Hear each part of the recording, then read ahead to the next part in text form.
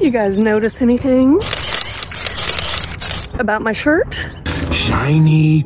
That's because there's a dress code here. Not really. But if you do want to interact with the creatures that we're gonna see, you want to wear red. They like red. Don't worry, it's not vampires. Today we're gonna go see some butterflies. They have so much stuff to do here and they've actually added a few things since the last time I was here. I'm not really sure exactly where I wanna go in first. Maybe, yeah, let's do the mirror maze. I love the layout of this one. All lines hanging down. Is so cool. Oh, I've always loved these. Here we have a little dead end. If you guys notice that I'm navigating through here pretty easily, that's because I actually used to work at a place that had a mirror maze, and so I got pretty good at it, and I know the secret of how to find your way really easily. Not gonna tell you guys what it is, though. Actually, I kind of did got, get hung up a little bit on that one. they have some corners in here. I guess maybe I should say I know how to get through these without bumping into one of the mirrors. Whoa, look how green I am. They've actually changed this one since the last time I was in here. It's a lot bigger now. And I have crickets chirping in the background. Okay, never mind what I said about not running into one. Oh, here we are. And it seems I made my way back to the entrance instead. Hmm. Only one way to solve this little issue. I'm gonna go through it backwards. Mirror maze, take two. I recognize this place. This is where I got lost a while ago.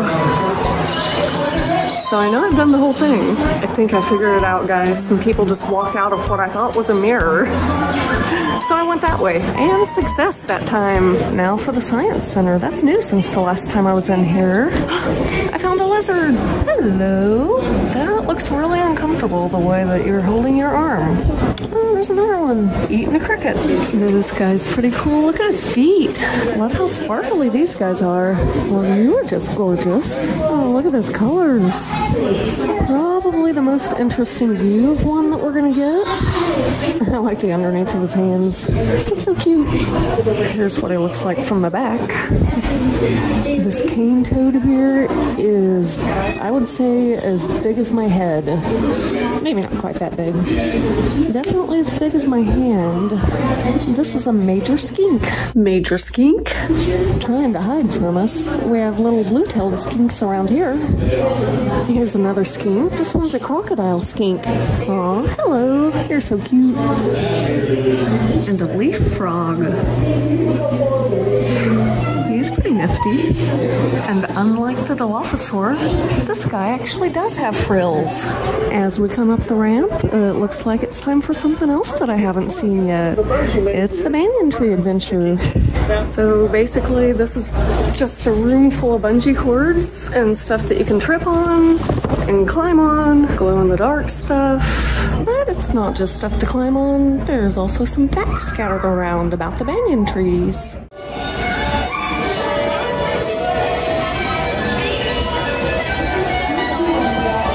So here we are, at the butterflies. I've got my nectar flower and let's see if I can get one to come to me. Oh, that one's huge.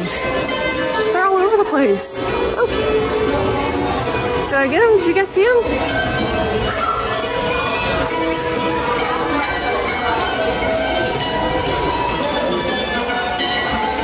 Love the underside of his wings, or her wings. They've got all kinds of cool plants in here. I don't know what these are called, but I like them. I made a new friend. This one keeps coming back. Oh, some of them were labeled. Here's a weeping fig. I found some blue ones. Okay, you guys, the mission, get a blue one to land on me. It's gonna happen. Oh, look at this. I found a bird. Oh, that was pretty. Okay, where'd they go?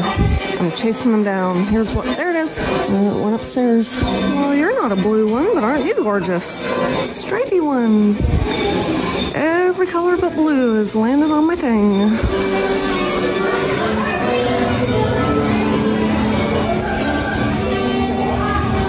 I got upstairs, all the blue butterflies went back downstairs. Okay, so this is it right here, the blue morpho. This is what we're looking for to land on the flower. Ooh, I also wouldn't mind seeing a purple spotted swallowtail. Tail jay, I haven't seen either of those yet. Okay, you guys, that tickles. I found a mushroom. Trying a new technique. I'm just gonna sit here on the butterfly bench, see if they'll come to me. One minute, 37 seconds later. I got impatient. They're pretty cute. This is what we're feeding them. One scoop orange powdered Gatorade and two quarts of water. Don't forget to look down as you're walking through this place. Don't want to accidentally step on one. And they put fruit out for them. That's pretty cool. And they keep landing on me. There's one on my shoulder right there. I love this. Coolest thing today right there. Well, other than these guys. And this right here is an example of why you don't want to touch the butterflies. Mm, poor little guy. They have one made out of citrine too. These are so cool, you guys. This is really cool. You can see various stages of the life cycle. I love the walls in here. I feel like I could run into Indiana Jones at any minute. My stowaway's still there. Here's a better shot of my friend right here. He finally flew off my shoulder. And there's some of the birds that we've been looking at. The blue dapnies, or I don't know how to pronounce it, red-legged honey creepers, and yellow-legged honey creepers. And another mushroom. Okay, that tickles. Ah, that really tickles. you're going about it the wrong way. You have to get to it from the top of the flower. I love how their body continues the pattern of the wings. It's so pretty. Now he's on my shirt. There's another one. There's some really pretty flowers in here. There's another blue one. See if I can catch it. Hey, buddy. Want some nectar? Oh, that didn't work. Here, butterfly. Here, little Lepidoptera.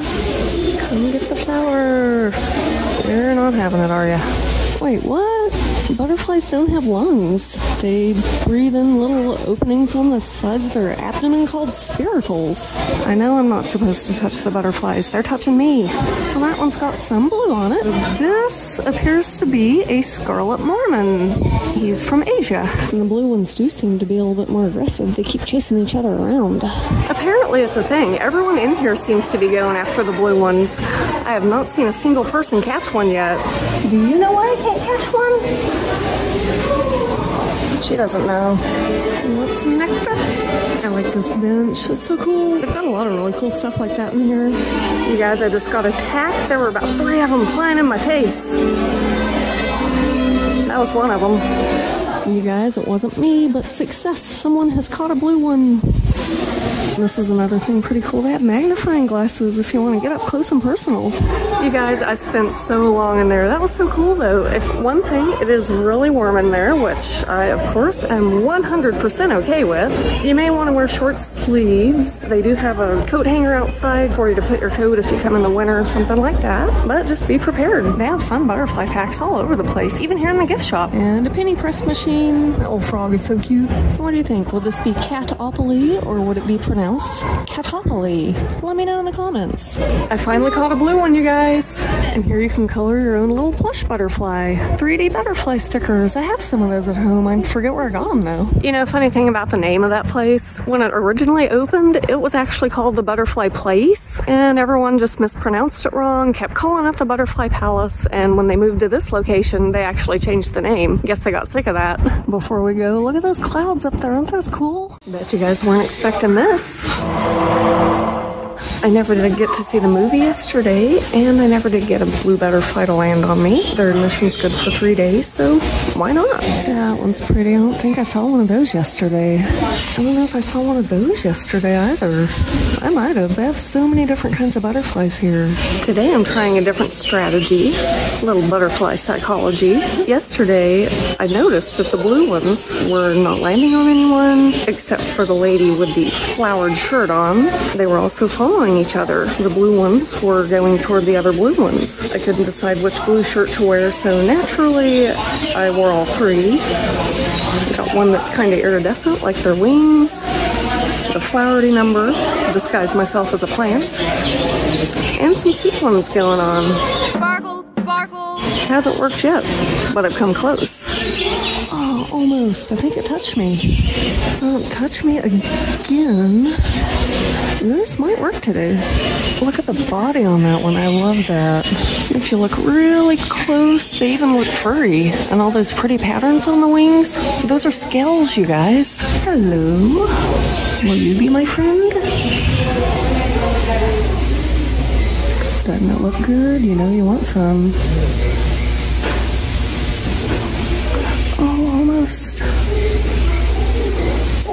So close. I think I figured it out. The blue seems to be working. Today I've been doing a scavenger hunt of sorts. Since I have a pocket for my flower, I actually took one of these charts with me and I'm looking for whatever I can find. Now, these are not the only kinds of butterflies in here. There are so many more and I've still not found all of these yet. Not even close. But I found a lot that they don't have on there too. I also brought my own special kind of butterfly bait today. Shiny red ball.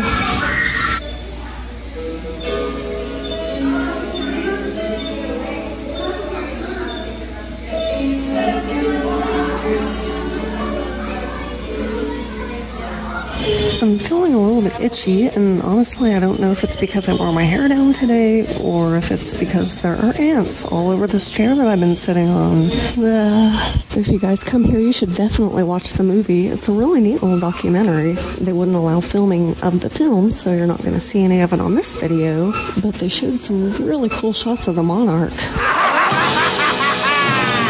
No, not that monarch. One it on me. I don't think I got on film though. Either way, success. I can sleep tonight. Life mission complete. Reminds me of my cat putting his head in the treat jar. Well, even if he won't climb on it, I've definitely made friends with this one. Hmm. I think I'm gonna try a different tactic.